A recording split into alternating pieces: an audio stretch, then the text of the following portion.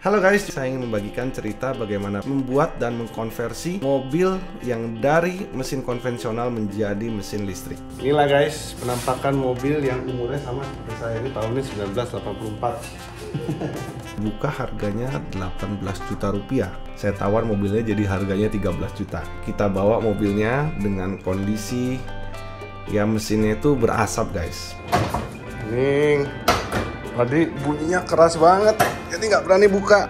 Loh, ini hancur guys mobilnya. Tadi bunyi shhh, gitu kayak mendidih nih. Radiatornya nih bocor. Nggak tahu ini apa ini.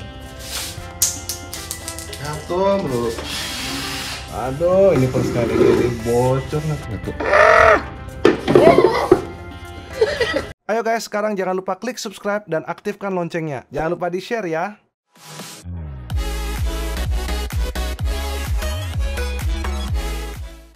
Halo guys, jumpa lagi dengan Captain Fisher Aditya. Di video kali ini saya ingin membagikan cerita bagaimana perjuangan saya dalam proses membuat dan mengkonversi uh, mobil yang dari mesin konvensional menjadi mesin listrik. Nah sebelumnya teman-teman sekalian pasti penasaran bagaimana pikiran saya sampai saya memutuskan untuk membuat mobil listrik dan bagaimana prosesnya kalian akan saksikan di video ini selengkapnya Tentunya tidak menjadi satu bagian saja, ada beberapa bagian yang dapat kalian tonton nantinya. Sebelumnya video ini disponsori oleh Turemi. Turemi adalah aksesoris HP premium di Indonesia yang menyediakan berbagai produk aksesoris HP mulai dari charger, kabel, power bank, headset, dan lain-lain. Bagi semua pembeli Turemi bisa mendapatkan berbagai undian berhadiah. Silahkan cek semua produknya secara online maupun offline. Oke okay guys, seperti yang kalian lihat, mungkin di Instagram saya ataupun di story-story tempat lain saya dari tempatnya Om Fitra dan rekan-rekan lainnya udah pada rame lah ya, pada tahu bahwa saya itu memproses mengkonversi mobil listrik. Nah, kira-kira apa yang membuat saya berkeinginan untuk membuat mobil listrik? Nah, pada waktu itu memang saya tuh lagi nggak berpikir apa-apa karena saya lagi nggak begitu banyak pekerjaan dan di rumah lagi gabut banget lah ya terus saya pikir ngapain ini? Nggak produktif sekali. Terus saya pikir lagi wah zaman sekarang ini bensin lagi bensin subsidi. Nantinya bensin bakal naik terus dengan adanya perang kayak begini. Alangkah baiknya kalau kita bisa bereksperimen dan bisa mengkonversikan mobil bensin ke listrik.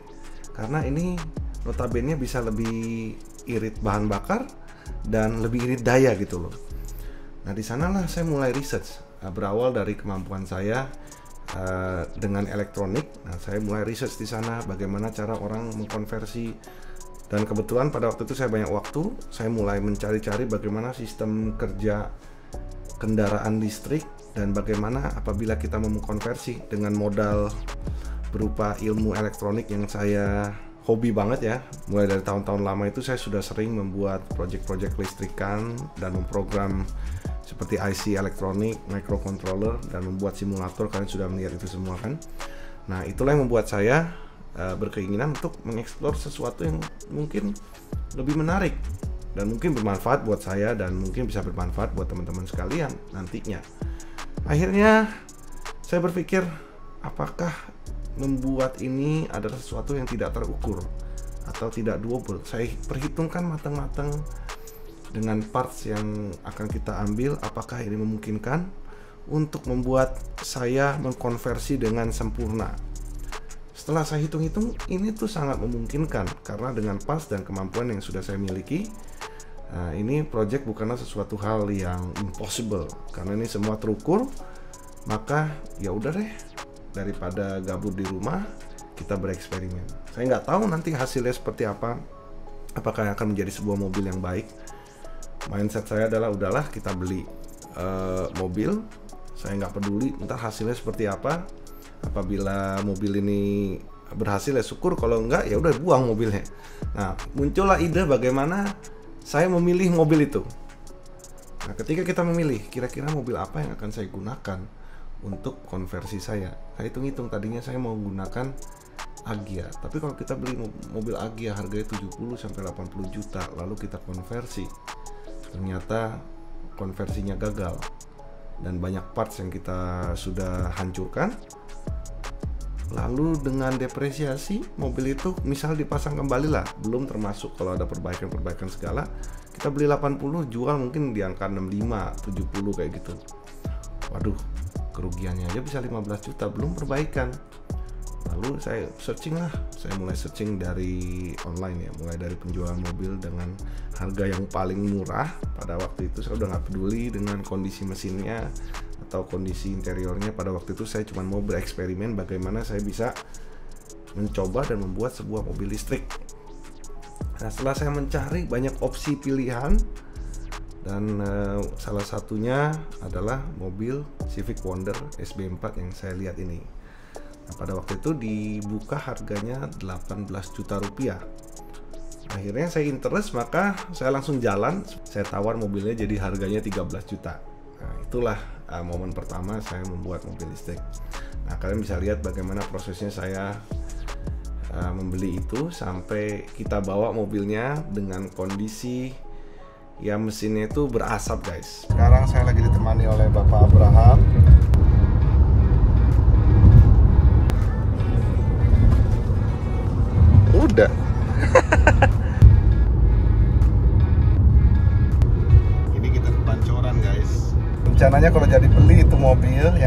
akan mengerjakannya adalah saya bersama Abraham yang notabene adalah orang yang kurang berpengalaman dalam membongkar-bongkar mesin mobil. Lalu apakah kita bisa membuat mobil listrik yang awet dan bisa digunakan sehari-hari guys, bukan yang sembarangan doang. Dan nantinya kita harus meresearch berbagai spare part yang harus kita beli. Ini kebalik nih. Harusnya orang mah ngeriset dulu baru beli. Ini saya beli dulu mobilnya, research. Karena gini guys, saya punya pemikiran kayak gini. Apabila orang lain bisa mengkonversi mobil biasa ke mobil listrik, kenapa nggak bisa seorang Vincent yang mengerti listrik, saya mengerti teknik untuk mengkonversi mobil listrik?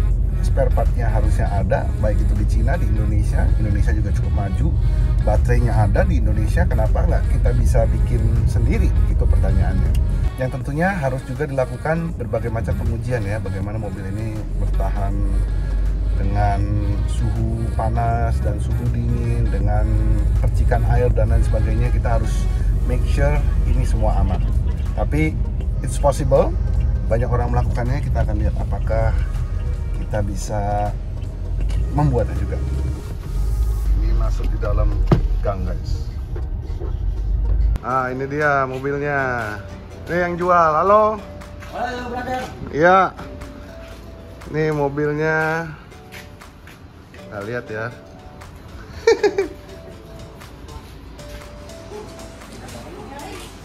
Kita lihat dalamnya guys. Aduh. Copot.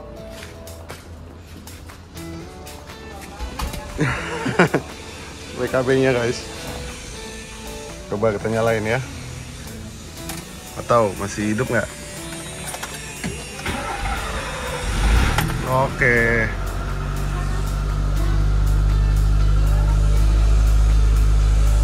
Ya udah kita bawa pulang guys.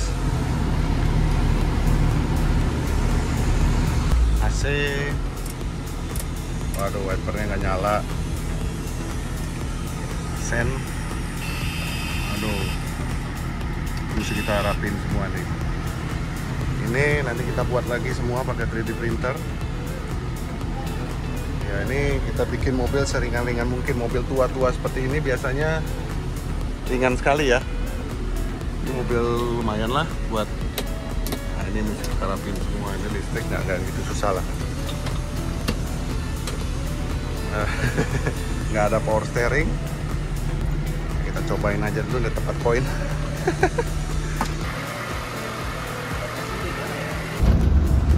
kita bawa mobilnya guys. Ini komplit ya suratnya ya tuh. Ini nggak berani ya kenceng-kenceng soalnya remnya nggak begitu pakem. Jadi kita jalan bawah aja nggak berani masuk ke dalam uh, tol. Perhitungan saya kalau saya beli mobilnya 13 juta kalau sampai ada apa-apa kita buang aja 13 juta. Bukan berarti ini adalah sesuatu pemborosan ataupun gimana, karena itu sudah ada perhitungan risk rewardnya seperti apa ya. Nah, uh, ketika kita beli Agya, kita konversi gagal, kita mungkin ruginya juga 15 juta. Nah, ini ketika kita gagal juga kerugiannya juga 13 juta. Ya udahlah, mendingan kita eksperimen dengan 13 juta, terlepas nanti hasilnya seperti apa ya sudah.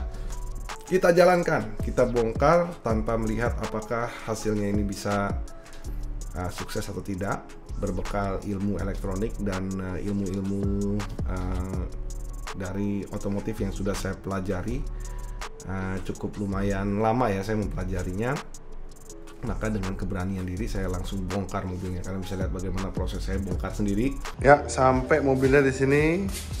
Kita mau buka dulu ya kapnya ini mobil nggak tahu lagi deh mana dia oh nggak nggak nggak nggak lihat nih tadi bunyinya keras banget jadi nggak berani buka Duh, ini hancur guys mobilnya. Tadi bunyi shhh, gitu kayak mendidih nih. Kelihatannya kayak radiatornya nih bocor. Nggak tahu ini apa ini.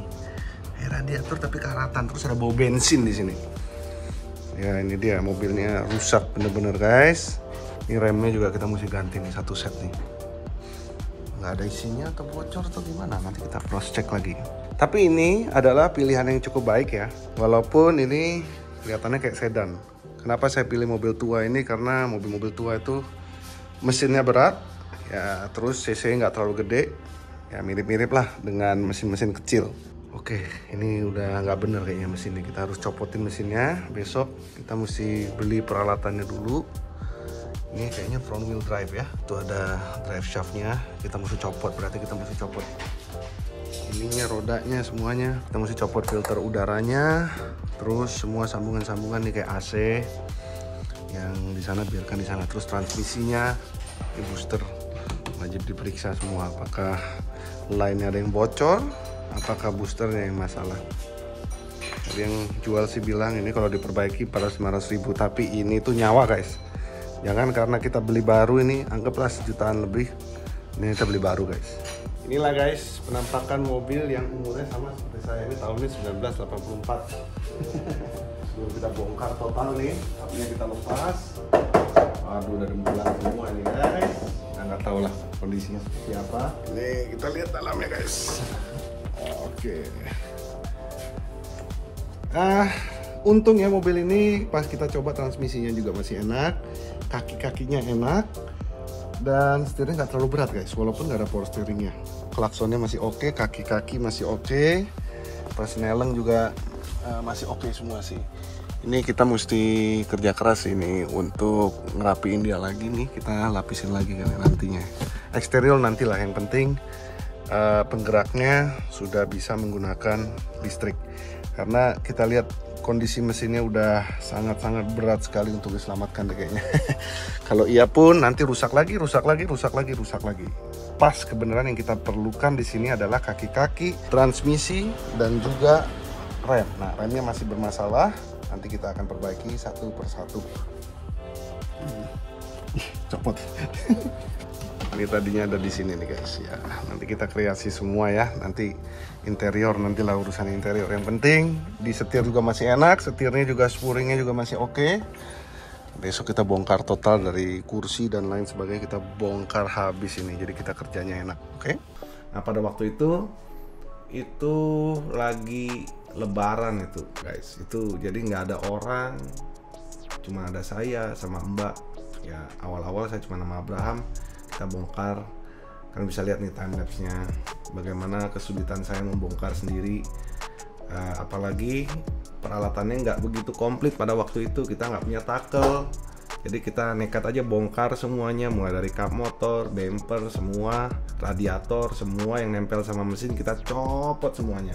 Kalian bisa lihat perjuangan saya satu demi satu saya lepas Oke, tiba sekarang harinya kita mulai bongkar-bongkar begini. Kita cicil-cicil guys. Uh, prosesnya ini nggak bisa langsung jadi. Ini adalah project yang cukup lama lah kita bisa karena konversi dari mesin mobil biasa ke mobil listrik. Uh, tentunya saya sudah siapkan beberapa peralatan. Nanti saya kasih lihat peralatan saya apa aja. Uh, baju nggak boleh yang ini karena ini baju biasa saya pakai pergi. Jadi saya mesti ganti dulu kira-kira baju ya ganti baju dulu guys. Oke sudah guys. Ini saya pilih baju yang kira-kira udah nggak kepake lagi sama celananya. Nah ini barang-barang saya saya kasih lihat. Ini kira-kira tools yang akan saya gunakan. Ini dongkrak dari wuling saya. Sisanya adalah alat-alat sehari-hari yang saya biasa kerjain karena saya suka koleksi alat guys. Ini bukan barang yang bagus punya. Ini tuh nggak kuat lah. Tapi saya punya kunci sok. Banyak untungnya kayak gitu. Saya tuh lebih simpan-simpan alat nih ya kan? Yang terpenting ini nih ini harus ada. Kalau nggak capek. Ini meringankan tugas kita jauh lebih banyak. Oh banyak peralatan-peralatan yang masih bisa kita gunakan.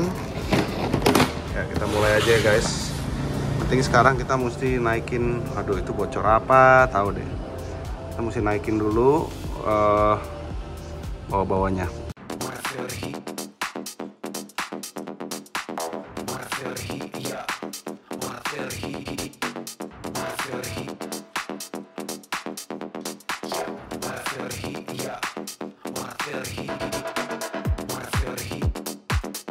Finally mobilnya sudah naik. Nah sekarang waktunya kita copotin satu persatu peralatan yang ada di mesin. Setelah kita melepas itu semua, kita kosongkan dulu oli-oli yang ada di dalam mesin. Baik itu oli persneling maupun oli mesin kita keluarkan semua. Awalnya itu ada beberapa kunci yang saya tidak bisa temukan ya, misalnya kunci untuk membuka uh, oli persneling itu nggak ada saya. Ini kan dia kotak gitu, jadi saya mesti ngakalin sendiri. Saya kikir uh, kunci L. Akhirnya saya punya kunci untuk membuka kunci itu. Ini pakai ini loh, apa namanya? Pakai tali. Sebenarnya saya nggak punya kuncinya, tapi ya udahlah kita create aja apa yang bisa kita create. Kita bikin kuncinya sendiri, guys. Saya punya kunci soknya, tapi ini saya ambil dari obeng nih guys. Ini dari obeng saya gerinda bawahnya, jadi masuk. Jatuh melulu nih.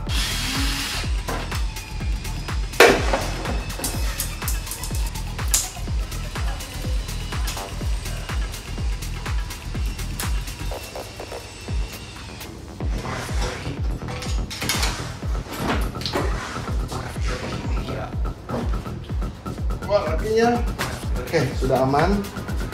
Sekarang biar cepat kita buka buka dulu deh. Apa namanya? Bempernya juga kita copotin. Bemper radiator sekalian tadi bawah.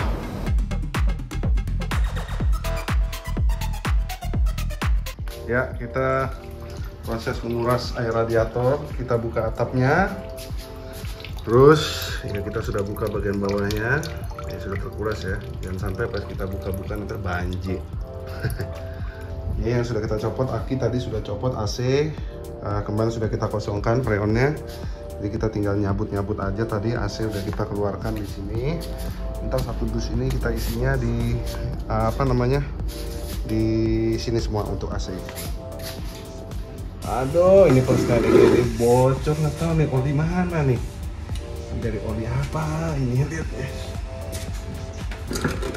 Oke, nih sini. Oke, jadi kita mau buka pembuangan oli persneling di sini. Tapi kalau kita mau buka ini dulu, kita harus buka yang atas dulu supaya ada udara masuk, sedot dia bisa masuk keluar, biar lancar gitu loh. Nah, untuk proses pembukaannya, uh, pastikan kita bisa buka yang atas dulu, baru buka yang bawah. Jangan sampai kita buka yang bawah, kita nggak bisa buka yang atas, nggak ada lagi oli persnelingnya. Tuh, duh, radiator. Oke, yuk kita cari dulu nih di sini. Maaf yang nggak biasa jadi montir guys. Tekniknya ngerti, tapi ininya nggak ngerti. Lah, aduh mak. Oh. Gila ini. Wah ini mah mesti beli persneling baru kali. Tahu deh. Saya tahu apa yang akan membuat kalian ketawa. Apabila saya saya buka ini, tahu-tahu olinya kena ke muka saya. Duh. Men, ini olinya rembes mana-mana. Kayak model kunci L tapi yang paling gede. Coba kunci L. Kunci L. Kegedean. Kecil dikit lagi. oke ini hampir bisa nih semoga lancar ya coba ini bukan kunci L tapi kunci kotak ini kekecilan kurang gede. Gede dikit lagi. Udahlah kita biarkan saja olinya. Siap-siap basah aja pas ntar copot mesinnya. Kita lanjut. Oh oli mesin dulu deh. Kita copot oli mesin. Ini saya diketawain montir-montir lainnya soalnya mau jadi montir tapi takut kena oli. Aduh guys kalian kalau lihat saya terbang. Sebelum terbang itu saya benci banget sama minyak mesinnya ini bocor parah gitu Enggak.